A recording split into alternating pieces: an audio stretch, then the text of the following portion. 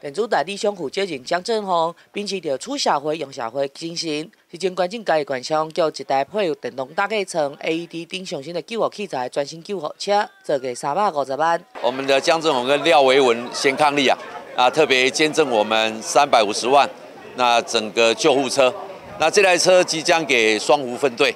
那大家知道啊，不是只有一台车而已，里面还有相关的配备，那包括电动担架，包括 AED。还有生理啊状况的监测仪哦，我们啊宏维公司啊，那本身是咱啊嘉义人，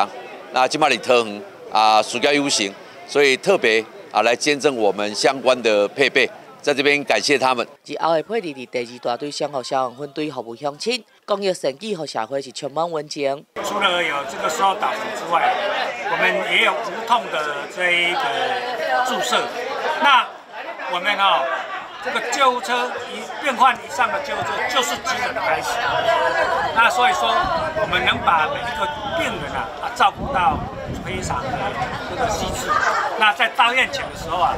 我们就可以把他这个前期的作业啊来做这一个处置。江振峰提醒着紧急救护的重要，主要是希望和伤病患者紧急的时阵会当减轻痛苦，同时嘛降低家属的不安烦恼。最主要的，我希望讲有伤病患者。在急需的时候呢，可以减轻他们的苦痛，哦，那也可以降低家属的不安，那可以救回更多生命的机会。王长良表示，该关收到的唔那是一台救护车尔，和内面相关的配备拢齐全。感谢江振宏事业有成回归乡里，记者黄北界关超报道。